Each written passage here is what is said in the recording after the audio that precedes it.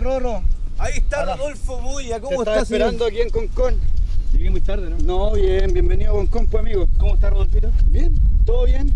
Rodolfo Moya aquí con nosotros en Conversa y Picoteo. Nos citaste. ¿Por qué nos citaste en este lugar?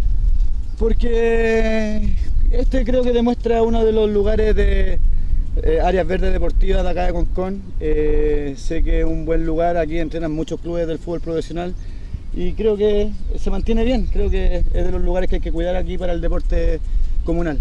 Oye, te vemos haciendo jueguito con la pelotita, no la dejáis, ¿eh? No, si algo queda todavía. ¿Algo queda?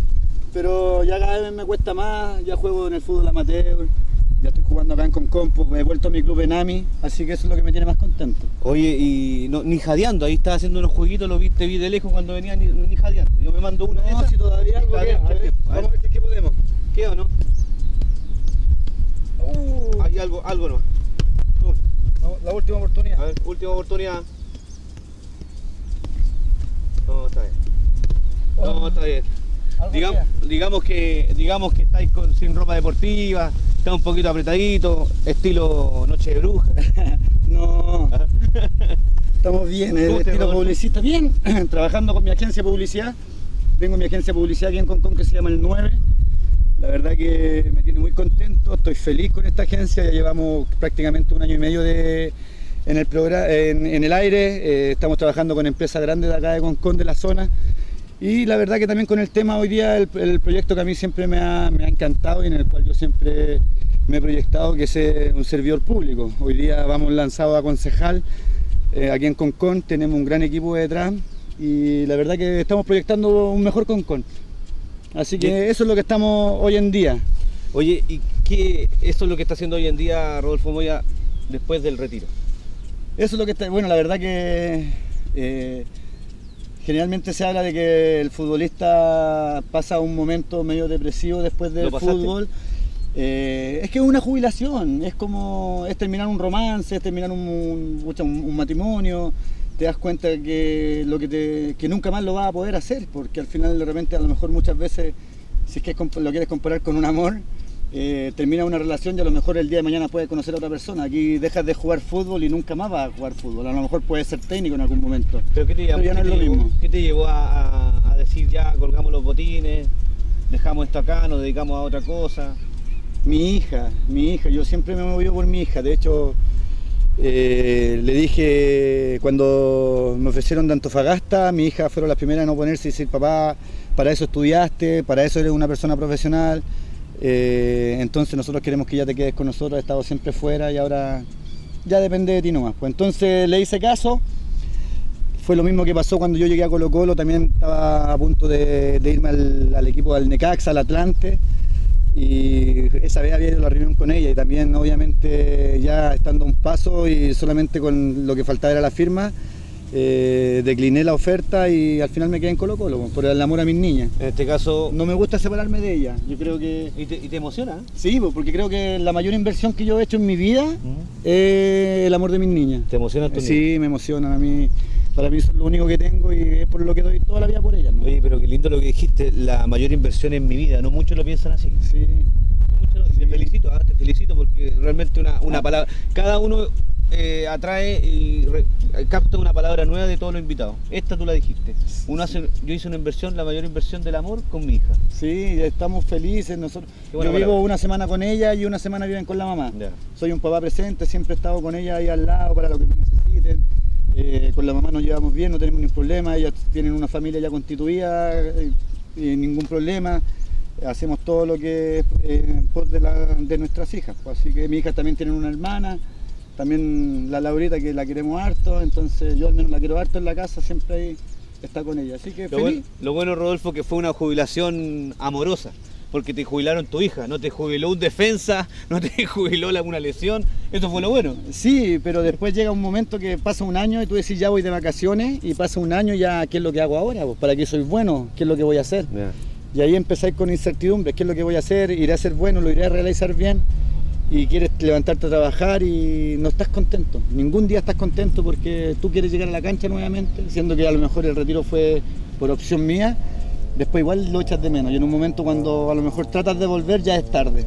Pero lo que te digo, llegó un momento en que dije ya, eh, ya dejé el fútbol, ahora me mentalizo, empiezo con mi agencia de publicidad, con el 9 y le damos para adelante. Pues, afortunadamente, como te digo, hemos estado bien, hemos estado con la empresa de acá de Concon, ya, no están, ya estamos trabajando con ellos. Y ahora para lo que es la campaña publicitaria a mí me ha servido un montón. Nosotros, yo soy como eh, diplomado community manager, entonces lo que más hemos trabajado es la parte digital. Entonces eso es lo que más creo que nos ha dado un, valor agregado a nuestra campaña. Oye, me tiene loco la, la, Está rico, está fresquito. está fresquito, pero me tiene loco la manguerita esa. En cualquier momento llega para acá y nos, y nos moja toda. ¿eh? Para que vea, aquí está bien, está bien rico, está bien cuidado. Saludamos, saludamos al, jardinero, es el que riega, ¿no? El jardinero del fondo colmito. Ahí está, un robot, un robot. Bueno, aquí está el cementerio, ¿Eh? el cementerio Concon, el que está allá arriba. Eh, ahí está enterrado mi padre. Sí, tú subes por ahí, hay un camino, y arriba de esas torres, allá están los árboles en la punta, eh, está el cementerio Concon. Este, y el otro es el, cementerio Parque. No, aquí se entra aquí al frente. Ahí está el caminito, mira. Ahí Ah, ok, ok. Ahí, ahí, ahí por el camino y subes para allá. Este es el cementerio parroquial de Concón. Digamos que este, este sector, este campo deportivo, que agradecemos a la gente del campo, el complejo deportivo Colmito que nos, facilitó las dependencias, es que al lado de una transnacional, ¿eh? de una embotelladora muy conocida a nivel mundial. No vamos a decir el nombre, pero que. Pero la roja. Pero es roja. La que más pide. Ahora si nos, da, si nos da vamos a ir para el lado, vamos a agarrar una botella, permiso y sacamos. Bueno, de allá venís del de allá venís de Bucha Millennium, eh, Colmo, Fuertaguayo, Los Pinos. Todo eso es de tu eh, distrito. La cantera, todo eso te Concompo. Después ya aquí en un momento aquí estaban los olivos. Fuertaguayo. Fuertaguayo. Me estáis hablando, me no, si Fuertaguayo está aquí a dos minutos de acá. Pero está el puente, yo, yo me he ido por, por dentro y. ¿Conoces el puente Colmo? ¿El puente de Colmo? Sí, y Fuertaguayo está más. Hasta ahí llega con No, pues Fuertaguayo está de ahí hacia arriba. Sí, pues por eso te digo. Desde ahí hacia arriba. Pero hay un puente que se llama Fuertaguayo ahí. Eh, parece que sí. Sí, pues justo está en la vuelta. Ya, es porque nosotros sabemos el puente Colmo. Esto se llama City. Esto sí. se llama... Bueno, de ahí para allá entra el, Carmen, la, el Carmen, la Palmera, Concón. Eh, las empezamos a nombrar por calle 1, calle 2, lo que era vamos allá, antiguo. vamos hacia allá, después tenemos la costa, tenemos con Playa, eh, la, Boca, la Amarilla, la, eh, la Negra, las Bamas, la Mancilla, y Querilla, Cruz de Yate, Lilene, y después para allá está ya Los Piqueros, Cochoa, y ahí está Arriñaca. Y por arriba tenemos Bosque Montemar, Loma, la Villa Primavera, bajando vía con Condó, a Concagua, Caleta y Querilla, viniendo cerrando para acá, Caleta y Querilla con Consur, la Progreso, Vista al Mar, la Gaviota, la cancha, la cancha de los Culuros, no, todo. Aquí una clase geográfica con el profesor Victoria, el señor Rodolfo Moya, exfutbolista profesional. Qué manera te conocí toda la calle. Es que lo que pasa es que toda la vida he vivido acá, entonces recorro todas las calles, todos los días tengo amigos, familia en todos los sectores, tengo hermanos en Fuertaguayo, tengo hermanos en la Villa Primavera, tengo el baño en la Villa, en Conconsur, en Los Romeros en Caleta Tengo familia en todos los sectores de Concón, entonces la verdad que amigos, uno recorre todo Concón. Pues. Rodolfo, tú me hablaste de la playa amarilla, playa La Boca. Cuando estabas en el extranjero jugando, ¿te acordáis de tus playas? Porque digamos, el extranjero donde tú jugaste había otro tipo de playas, paradisíacas también, pero ¿te acordáis de esas playas? Oye, prefiero mil veces la playa amarilla, la playa Boca, ¿te pasó por ahí? Mira, yo la verdad que no sé qué tiene Concón, pero Concón te engancha, te amarra y no te suelta más las personas que llegan a vivir a Concón les encanta la tranquilidad, la pasividad, cómo son los amigos, cómo son los, vecinos, todos hablan, todos comparten. Y la verdad que eso es lo que yo creo que llama la atención a toda la gente que se quiere vivir a Concón, porque al final eh, el día a día es hermoso, tenemos una calidad de vida hermosa y no hay que perderla. Oye, mira, estamos grabando aquí por el Facebook Live de Rodolfo Moya, a ver, ¿qué dice la gente? A ver, puros dedos para arriba, A ver, puros me gusta. Ahí estamos con Rodolfo Moya. Mira, camarita, ahí está. Estamos por el Facebook de Rodolfo Moya, eh, transmitiendo en vivo. Dice, viene hermanito, tira para arriba. Eh, Jorge Díaz dice, está viendo. Eh, Diego Roja también está viendo. Karina Vicencio. Rodrigo Córdoba Kempler está viendo. Hartos. Pedro Morales también está viendo. Pedro, Morales, Pedro Morales, el seleccionado ah, chileno. Pedro Morales, Poque, Poque Morales, ¿no? El mismo. Guachipato. Guachipato. Ahora en Europa con, jugó con Pellegrini, ahora está en Estados Unidos. Le sigo todo. Pedrito, usted sabe que lo sigo. Este, ahí te está saludando Rodolfo Estamos en vivo. No, hay varios otros jugadores más también, pues tenemos a varios exjugadores, compañeros. Ahí estamos, con la, ahí estamos con la camarita, mira. Ahí está transmitiendo en vivo a través de su Facebook eh, Rodolfo Moya Spuller. ¿Y qué más dice por acá? Más arriba eh, está Morales, estaba viendo. A lo mejor no está entrenando Morales, está con descanso Morales, ¿no? Debe estar capaz que esté en la hora de la colación. Está en la hora de la colación Morales. ¿Dónde está jugando en Canadá? En Canadá Juega en la M eh, Sí, pues, pero pertenece a la MLS, ¿no? Algo así. Oye, la, la caprichosa se nos va. No se puede. Esta es la que dio. Oye, eh, ¿vamos a hacer un corte? ¿Hacemos un cortecito? Porque estamos con gentileza Los González. Tú sabes que Los González es una amplia gama de distribuidores de carne, queso, frambería, lácteos, congelados. Y lo mejor de Los González, viejo, es la atención y los precios. Bueno, ¿se parece entonces? ¿Eso qué es lo que es? Los González, el comercial Los González. Es como do- restaurante Don Chicho aquí en Concón. Una cosa así. Restaurante Don Chicho, restaurante Emeterio. Algo así también. Buena calidad, Buenísimo. bajos precios. Buenísimo. Y gracias a los González vamos a ir luego al quincho porque ya se está nuestro cocinero, lo vemos allá de fondo, está preparando todo eso. Mi compadre, mi ¿Ah? compadre dice que es bueno para la parrilla. Él me dijo, Rorro, yo lo único que te pido es carnecita porque en la parrilla me manejo mejor que en la cancha. Y a ¿Qué pura sal. Y a pura pura sal. sal. A pura sal. Nada más, solamente Y eso conversa y picoteo, que es lo primordial. es lo que vamos a seguir haciendo ahora. Ya, pues, hacemos un corte. Aquí en Conversa y Picoteo ya volvemos. Esperen, ¿no? Sabemos que los González reúnen a la familia, sabemos que los González tienen los mejores precios, sabemos que los González tienen la mejor atención. Usted vaya a todas las sucursales a nivel nacional, quinta región y país de los González, porque los González tienen la especialidad, la especialidad de atención, precios y por supuesto la tradición, todo en quesos, con los González. En Farmacia Daniela, procuramos brindar a cada cliente confianza y calidad en cada uno de nuestros servicios, ofreciendo siempre las mejores alternativas en la importación de medicamentos y recetario magistral, cumpliendo con los estándares de calidad que exige la normativa vigente. Estamos ubicados en Avenida Portugal 16, Metro UC, Fono 22 22 29 69, email farmaciadaniela.gmail.com Horarios de atención. Lunes a viernes de 9 a 14.30 y de 15.30 a 19.30 horas. Oye, ya estamos en el sector del quinchito, mesita, piolita, gentileza de los González. ¿Qué, qué le pediste a los González, Rodolfo? Llegó lo que tenía que llegar. Costillar. Costillar. Por el lado huesito para que no se queme. ¿Ya? Vamos Ahí por el lado el huesito para que no se queme. Para que no se queme. Está ahí. Costillar. Pollito. El...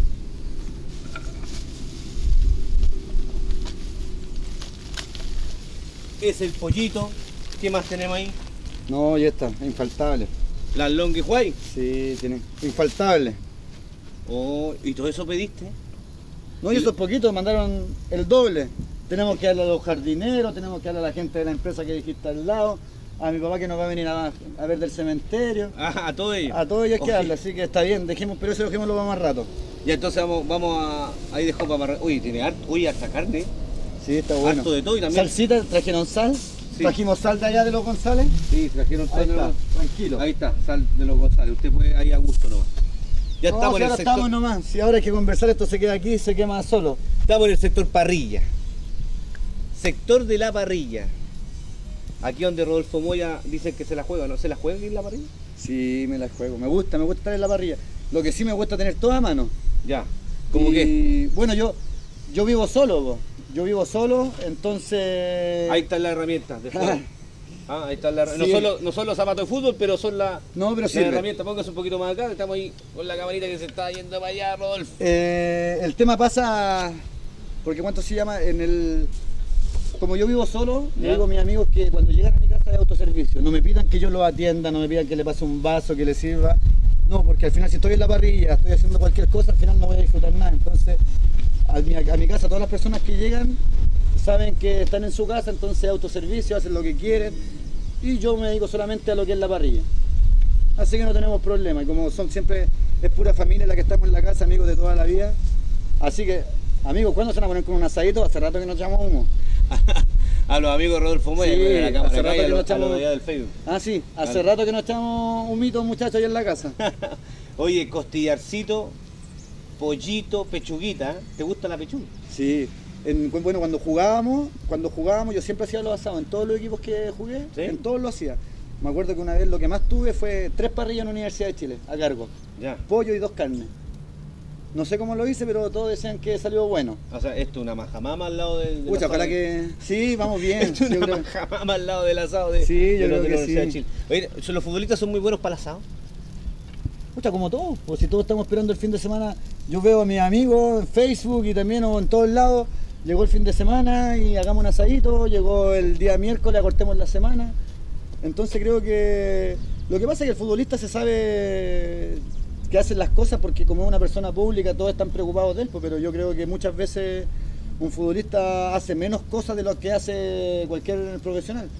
Porque al final muchas veces yo me encontré con, con gente profesional en, en algún carrete, en alguna, en alguna biblioteca nocturna. ¿Ya? Y nosotros ahí... Ay, ¿cómo eso? ¿Cómo eso? ¿Cómo eso? No, no. Vamos a pedir a la producción que estamos, vamos a servir un poquito de bebida. Sí, por favor. Bebida, esto es bebida, no es champán, nada de Sí, eso. tenemos que volver a la casa, hay que manejar. ¿Cómo eso, biblioteca nocturna? Por favor, párate en Batuco ahí, párate en Colmo, párate en Fuerte Aguayo y dime, por favor, qué significa esa biblioteca nocturna. Yo creo que muchos amigos futbolistas que te están viendo ahí en Facebook se van a, se van a sí saben. ¿Ah? Ellos saben qué es lo que es una Anda biblioteca. sapeando Rodolfo Moya. Cuénteme un poco, ¿qué es biblioteca nocturna, Rodolfo? Nosotros decimos, cuando vamos ahí, muchachos, ¿quién va a ir hoy día a la biblioteca? ¿Qué libro vamos a leer? El libro rojo de Jack, Está bueno. puede ser. Está bueno, salud Rodolfo, ¿eh? salud. Salud. Damos salud camarita ahí y el camarita acá y a la gente que te sigue en el Facebook porque Rodolfo Moya está transmitiendo en vivo por su cuenta de Facebook. El tan conocido Facebook Line, que hay algunos, hay, hay algunos que todavía en su teléfono no lo pueden captar porque quizás son de otro modelo y todo, pero los que tienen modelo avanzado, No, en ese caso digamos que Rodolfo Moya tiene un No, Xperia Selfie Pro Cam Electro One. no, pero eso no es mío, eso me lo prestaron. Yo tenía uno eh, que había comprado recién, porque como yo soy publicista y trabajo mucho con el tema de las fotos, ¿Ya? nosotros hacemos una producción, un evento y tenemos que sacar fotos. ¿Ya? Entonces me preocupé que mi teléfono tuviese la mejor cámara ¿Mm? y me duró un mes. Y ahora lo mandé a arreglar, me dijeron sale tanto, pagué la reparación, lo llevaba, se me cayó este teléfono, voy para allá y me dicen son 150 mil pesos por la Ah, reparación de Ah, qué lindo. Y le dije, no, ¿sabe qué? Déjelo allá nomás. Y me quedé con este, pues así que tenía uno y las fotos son, no sé cómo estará la transmisión muchachos, pero las fotos son malísimas. ¿Qué dice la gente, nuestro productor ahí? ¿Qué dice la gente? ¿Está apoyando la gente? Está acá, vamos haciendo deditos. Están eh, ¿Ah? viendo ahí Natalie, ¿Ya? Natalia Varela Suazo, Daniel. ¿Pero qué dicen? Felipe. ¿Comentan algo, no? Eh, hasta el momento están comentando. Comenten ahí, hacen deditos, los que están presentes. Comenten ahí, chiquillos, mándenle un saludo a su amigo Rodolfo Moya que estamos transmitiendo acá por, Los vamos a leer, los vamos a leer antes que termine el programa. por este. No escriban nada malo ni ninguna anécdota. Oye, eh, prohibida esa. Claro. Oye, Rodolfo, hablemos de tu inicio. Oh, y ahí me pongo a llorar también. Bueno, lloramos y trajimos pañuelo, ¿no? No trajimos pañuelo. No, pero hablemos un poquito de, de tu inicio, Rodolfo. El Wikipedia dice, ¿ah? Ah, el famoso Wikipedia, eso lo vamos a hacer. ah, están haciendo trampa. No, la sección del Wikipedia que luego viene, la vamos a hacer ahí con papel, vamos a ver qué tan verídico es Wikipedia. Pero hablemos de tu inicio futbolístico. Comenzaste a los 15, debutaste a los 15 años.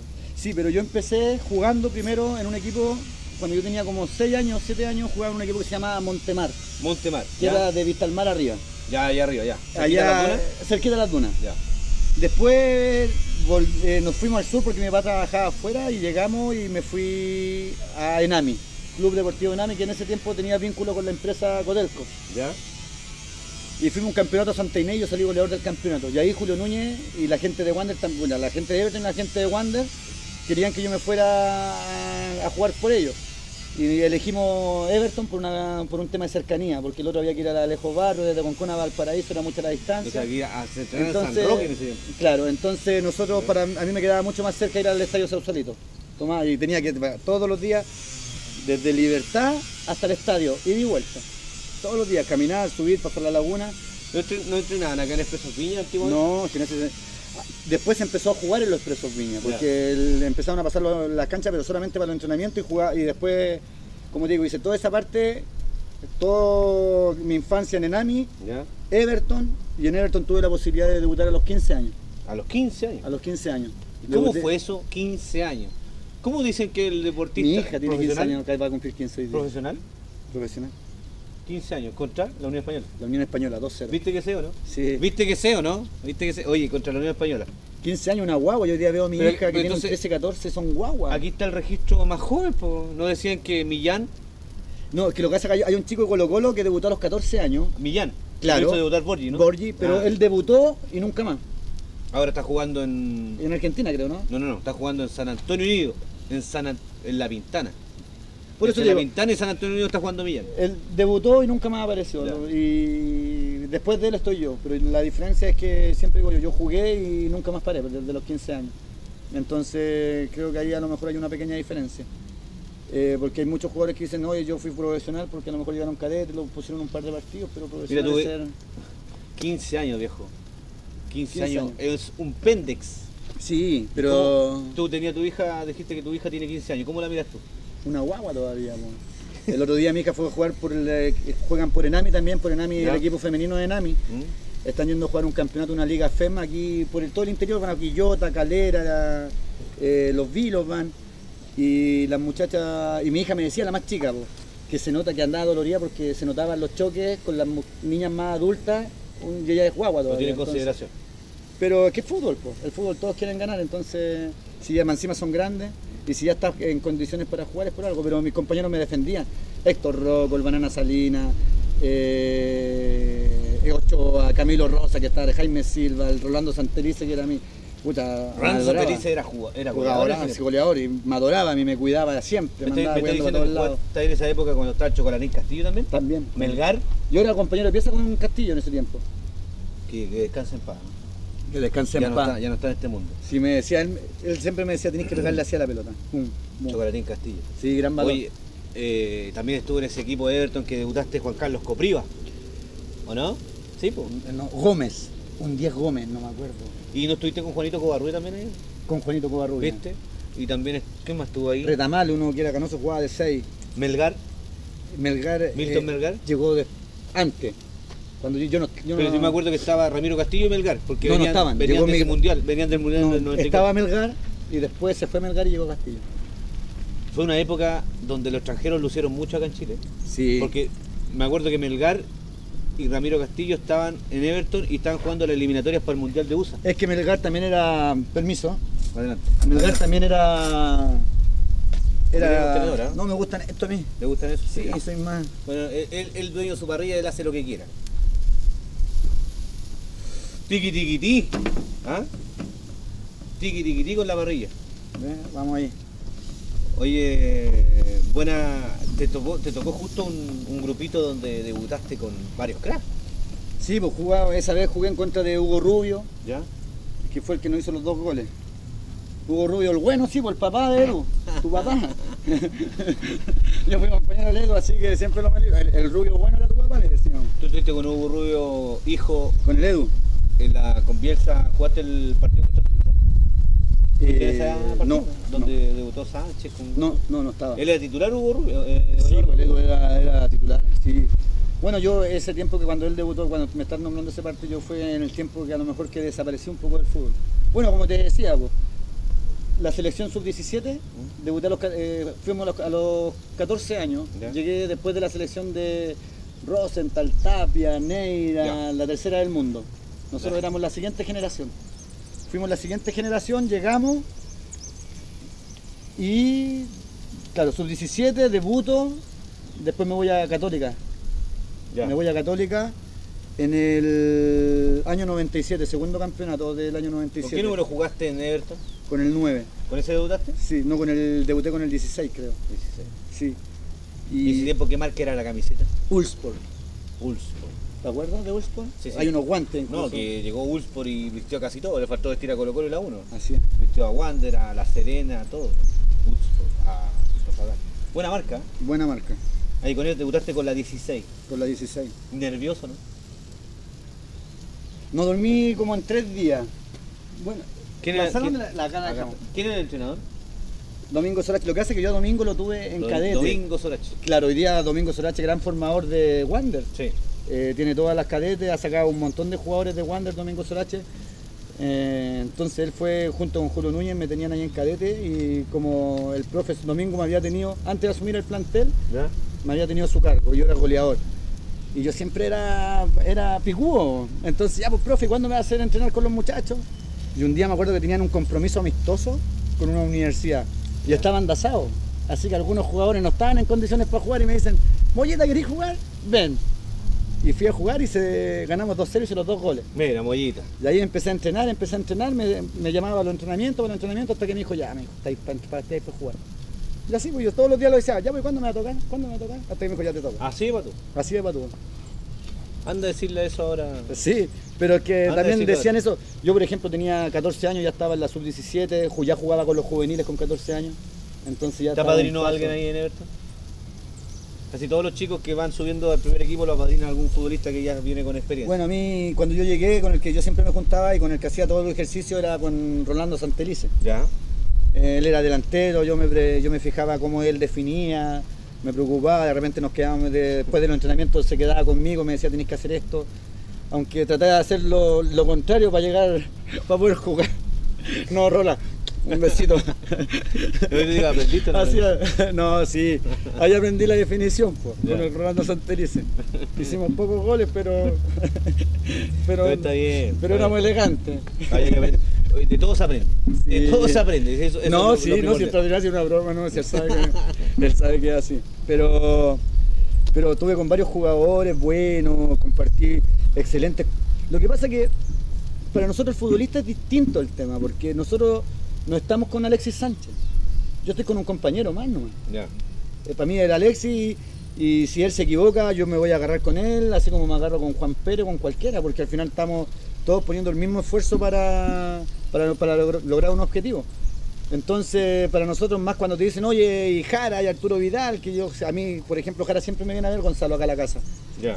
Y la gente... Viene con el de- ¿Cómo te haces así? Hola, ¿cómo estáis? Sí. Ocupa el- Todavía ¿Cómo no. estáis, Rodolfo? Hace- No, ahí no. No. bueno, hay confianza. Hay confianza. ¿No sí, se han enojado? Eh, no. Hemos- no nos hemos distanciado por Ya, tema... Pero ni que te enojís con cara porque. con Sí, cara porque- no, pero no. Pucha, la verdad que son pocas las veces que me he enojado y las veces que me he enojado es porque me he sentido decepcionado. Ya. Porque uno de repente hace las cosas con cariño y de repente cuando uno pide de vuelta pide lo mismo y, y de repente te decepciona nomás. Pues, y es mejor alejarse en vez de seguir a lo mejor discutiendo o llevarse una mala onda.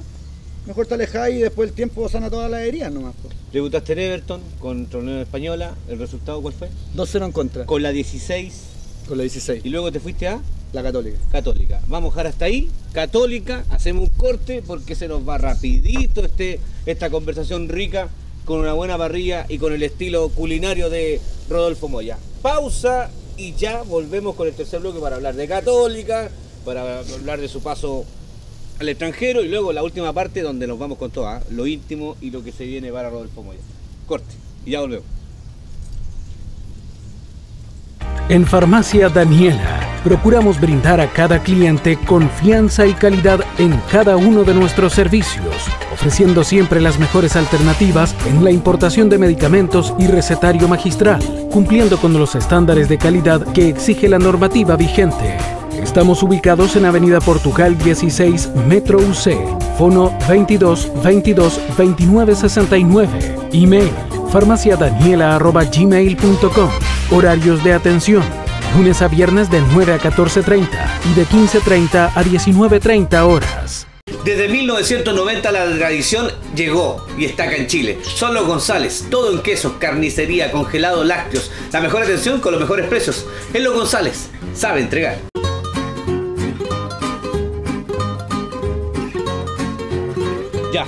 Vamos con esta parte, ya la última, donde te pregunté el tema, ¿por qué pensaste llegar a concejal? ¿Qué te pasó por la cabeza? ¿Te llegó un pelotazo? ¿De verdad o no? ¿O fue un cabezazo en el aire y dijiste quiero ser concejal? ¿Qué te motivó? Mira, yo conocí a Jaime Pizarro y a Arturo Sala. Tuve la fortuna de conocerlo. Eh, conocí a Jaime Pizarro cuando estaba jugando en Católica eh, y conocí a Arturo Sala cuando venía a ser ministro de, de Deporte con Ricardo Lago. Sí. Eh, Arturo Sala asume Guachipato y Jaime Pizarro asume con Bachelet Después de ser eh, ministro de Deporte, Jaime Ya. Pizarro. ¿Ya? Entonces yo dije, yo quiero ser ellos. Yo quiero ser, el así como una vez dije, cuando era chico, dije, quiero ser el cuarto jugador después de Fabián Stay. Quiero ser el cuarto jugador en llegar a los tres equipos grandes. Y dije, voy a ser el tercero en llegar a ser ministro del deporte. Y ahí empecé a estudiar, empecé a mejorar. Eh, me gustó siempre lo que es la... Yo cuando chico trabajé mucho, trabajaba, entonces para mí hay cosas que en la vida no se pueden transar, por ejemplo que los niños trabajen.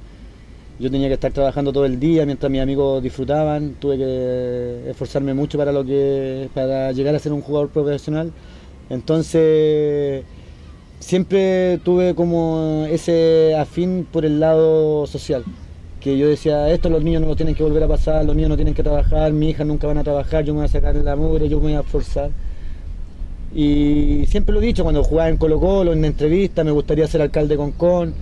Eh, he hablado con el alcalde, con las personas que me conocen bien, saben que para mí mi mayor aspiración eh, como persona hoy día y profesional es ser ministro. Creo que tengo capacidades, creo que tengo los conocimientos, eh, creo que tengo el carisma como y la estrategia como para poder mejorar un, pucha, primero la comuna, después a lo mejor la región y por qué no mañana mejorar cosas a nivel nacional, y por qué no internacional, la verdad que eso es lo que a mí me motiva. Yo, si yo quisiera estaría en mi casa hoy día tranquilo, sin, eh, viviendo de la renta, como se dice, pero no, llegué, estaba muy, muy plana mi vida y dije, ¿qué pasa con los sueños que yo tenía? Así como en un momento te dije que yo llegué a Colo Colo y se me acabaron, se me acabaron los sueños. Ahora yo llegué y dije, ya, tengo mi vida hecha, jugador de fútbol, todos queremos tener la vida hecha, pero qué lata, pues se te va a hacer aburrida desde aquí para adelante, tenés 32 años, te queda más de la mitad de tu vida, entonces algo tienes que hacer. Pues. Entonces, ¿qué es lo que hice? Creé mi agencia de publicidad, vendí un departamento, eh, compré un camión, compré máquinas, compré, arreglé la oficina, tengo una persona y le empezamos a dar un proyecto que a lo mejor yo, a lo mejor muchas, muchas personas te dicen, pero Rodolfo, eh, no te requís con tu plata, arregla con otra plata. Y le digo, pero no, pues son mis cosas, son mis negocios, yo no quiero deberle un peso a nadie. Y lo que me gane me lo gano para vivir. Pues, entonces... ¿Y qué crees tú que le puede cambiar la cara a Rodolfo Moya a Concón al ser concejal? Yo creo que Concón es una comuna hermosa que ha crecido mucho. Yo creo que Concón hay que mejorarlo. Concón creo que si bien ha tenido siempre el, apoyo y el crecimiento aquí, primero geográfico, estamos al lado de Viña, estamos al lado de Valparaíso, estamos en una zona que ya somos el último lugar en poblarnos porque ya viene poblado Valparaíso, Viña y Concón siendo lo más cercano es lo que se está poblando desde aquí para allá. Pero creo que por ejemplo falta una mejor atención en lo que es en nuestro servicio de salud pública, eh, no falta una mejor atención por el lado de, los médicos ni, ni, las personas que trabajan allá, sino que, faltan recursos, falta generar instancias, a lo mejor algunos convenios con universidades, porque las universidades te mandan alumnos en práctica, y a lo mejor esos alumnos en práctica podrían ayudar, podrían tener una mano. Eh, entonces creo que es una cosa de gestionar eh, y tener la capacidad de gestionar, porque creo que hoy día ya, si a lo mejor antes se podían hacer cosas a nivel comunal o a nivel de junta de vecinos, solamente con la, con la intención. Hoy día creo que aparte de tener la intención, también tienes que tener educación y tienes que tener eh, conocimientos básicos como para emprender un, lo que es un proyecto de verdad. En cuanto a la seguridad, con, con hoy día está pasando un tema súper delicado, los portonazos ya están llegando acá, están robando a la gente, afortunadamente nunca han pasado, a lo mejor más allá de un robo eh, y estamos lejos y hay un luz yo creo de del, pucha, no lo quiero ni decir la palabra, pero a lo mejor que, pucha, que alguna vez le pase algo a, tus niños, a algunos de tus familiares. Eso no hay que permitir. Eh, claro, entonces no, podemos llegar a eso, entonces tenemos que desde ya empezar a poner mano dura, creo que tiene que haber un mejor sistema de, seguridad a nivel comunal, creo que eh, Concon tiene recursos, Concon genera los recursos como para, para crear varios proyectos en los cuales Concon se puede autofinanciar. Y eso está también, el, como digo, el tema de la seguridad, el tema de la salud pública, el tema del deporte. Hoy día toda la gente está haciendo deporte en todos lados, tenemos una de las mejores costas del país, del mundo, y no es posible que cuando vamos corriendo tengamos la posibilidad y la probabilidad que nos puedan atropellar. Yo he visto a personas que han estado atropellados, yo las he salvado, he llamado a la ambulancia porque personas que están entrenando en el borde costero porque los micreros no respetan el sistema que, tenemos de transporte, no, no respetan los pasajeros. Las veredas de costa son muy pequeñas. Las veredas de costa son muy pequeñas. Y si tú te vas, eh, aquí mismo hoy día está el tema de este sector Colmo, sector Fuertaguayo, que es un sector nuevo en el cual hoy día todavía no está urbanizado. Entonces hay mil cosas que las personas hoy día se vinieron a vivir por acá por un tema de a lo mejor de primero por un por cambiar un aire, por venirse al campo, pero las personas hoy día ya están haciendo su vida acá en Fuertaguayo. Entonces ya hay una cosa que es de mayor necesidad, ya las cosas que en un momento pasaron a ser como un capricho ya pasaron a ser una necesidad y hay que solucionarla rápido, tienen que tener, tener rápido un sistema urbano, cosa que las personas puedan tener agua, luz y todo lo que hace, eh, todo lo que hace que la comuna siga creciendo y las personas también se sientan cómodas. ¿Y qué te dice la familia al respecto? Los cercanos, ¿qué te dice la familia por el hecho de tomar esta decisión? Lo mismo que me dijiste tú al principio. ¿Quién le pegó en la cabeza? Pero... La mamá en este caso. No, es que lo que pasa es que mis papás, mis amigos me conocen de toda la vida. Yo siempre me he juntado con la misma gente, disfruto con los mismos, voy a todos lados con los mismos, llevo un compro, eso digo yo, conozco todos los barrios, porque en todos lados tengo amigos, yo me he criado con la misma gente. Estando en la selección chilena, yo venía en micro al supermercado, andaba en colectivo, me bajaba de mi auto, me subía a la micro, venía, vengo a, a todas las canchas. Entonces llego a Bosque Montemar cuando voy al colegio de mis niñas, llego a todos los sectores de Concon, creo que soy una de las personas más transversal. Entonces las personas saben que es lo que a mí me gusta, saben que es lo que yo quiero con Con, saben lo que me gustaría que mejore. Y qué mejor que a lo mejor una persona destacada en el deporte, una persona que, que tiene credibilidad, una persona que tiene el, cariño de la gente y que tiene lo que, insisto, los conocimientos para realizar buena obra en Concon, tiene que realizarlo. Y la gente me cree, sabe el esfuerzo que hice para llegar a donde estoy hoy día, desde lo que te dije, siempre fui trabajador, me esforcé, estudié, eh, me he caído, me he parado y si me vuelvo a caer me voy a volver a levantar y en eso no tengo problema. Y sobre todo cuando tenía el respaldo de tu mamá, de tu papá, de... Pucha, mi papá lamentablemente hoy día no está, pero de tu familia, de tus amigos más cercanos, uno le da para adelante porque sabe que si equivoca van a estar ellos para, para cobijarte. Así que, pucha, siempre la verdad que le agradezco a todos mis amigos, a, a mi hermana, a mi hermano, eh, a la gente que me conoce, todo el cariño que me entrega, la verdad que mis amigos después de haberme retirado del fútbol me acogieron bien aquí en la zona, eh, siendo que siempre fui acá, pero hay que volver a adaptarse. Y hoy día tengo un grupo de amigos maravillosos, pues, así que les mando un saludo a todos ellos, eh, nombrarlos uno por uno. Bueno, igual son poquitos, son así que, pero ellos saben quiénes son, saben quiénes son mis amigos verdaderos, saben son los que, los que me guardan, los que me cuidan y a los que yo también quiero y cuido. Muchas gracias.